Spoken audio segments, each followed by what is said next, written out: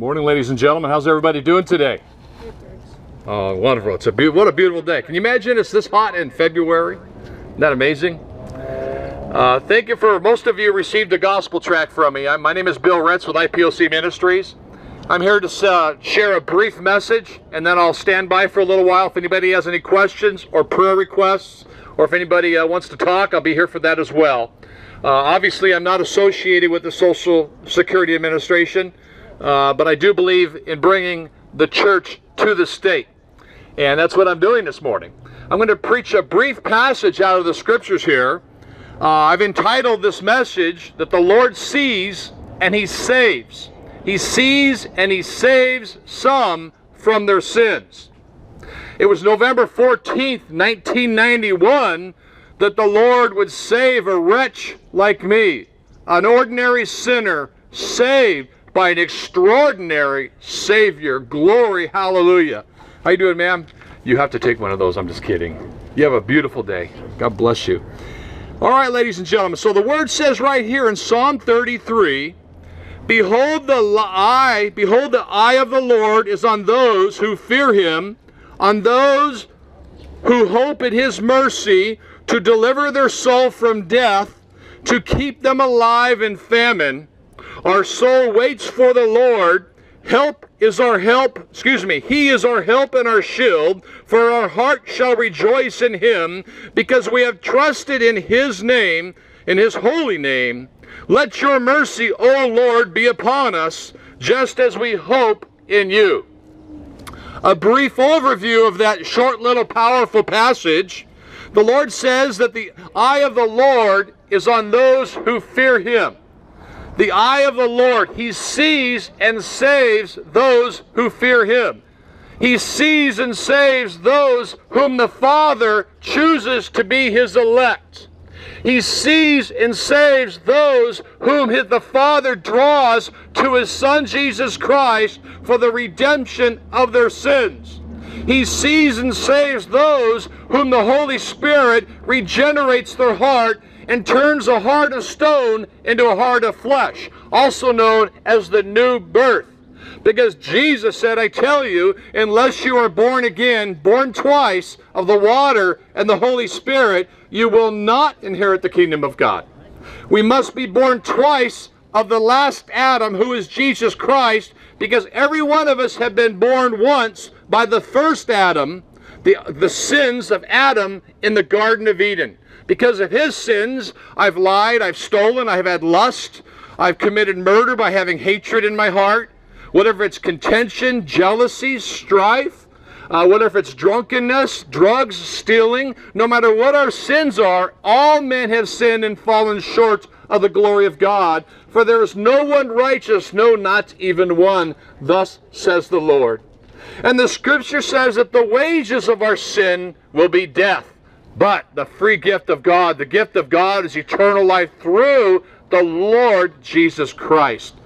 Oh, glory. That's good news, folks. The bad news is we've all sinned, we're all sinners, and we need a Savior. But the good news, my friends, is we can be saved from our sins through the Lord Jesus Christ.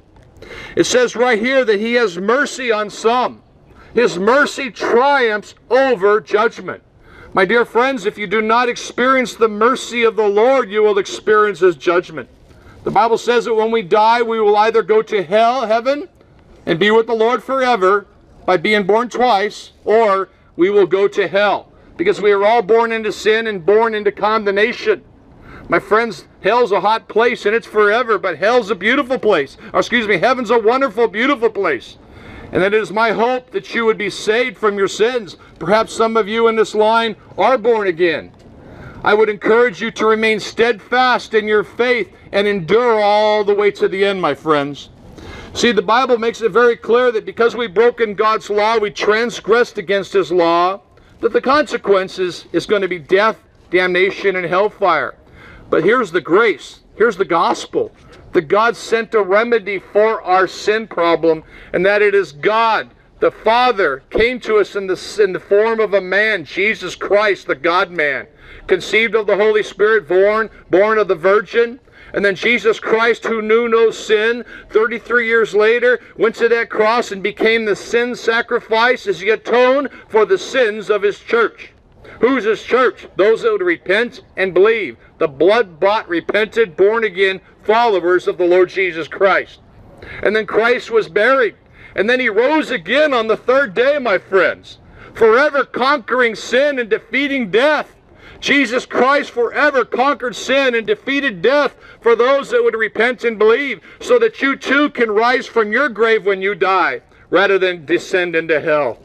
And then after he was buried, of course, he rose again, as I said, and then he and then he ascended into heaven, where Jesus Christ is now seated at the right hand of the Father, where he will intercede on your behalf if you become saved. As it says in 1 John 1 9, that if we confess our sins to the Lord Jesus Christ, he is faithful and just to forgive us of all of our sins and to cleanse us from all of our unrighteousness. See, we can become righteous by being clothed with His imputed righteousness. That's the only way we can enter heaven is through the blood of the Lamb that was slain for the foundations of this world. My friends, Jesus Christ, amen. amen. Jesus Christ commands all men everywhere to repent from their sins because there is no salvation without repentance. Repentance is not a works that saves us, but repentance comes because of salvation.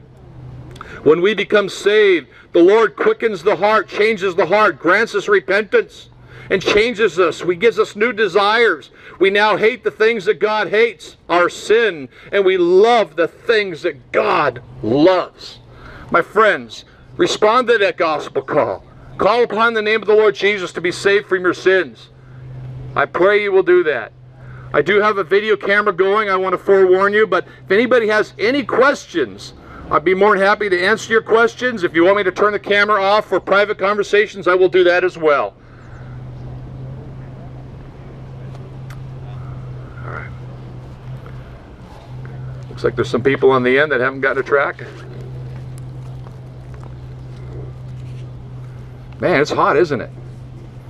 Already? Just now starting. Yeah.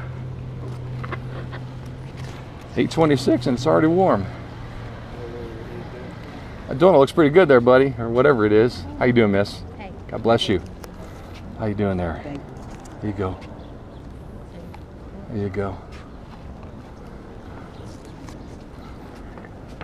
Well, hi, ladies. How you doing there? Morning. How you doing? One for each of you. Thank you. We appreciate it. Amen.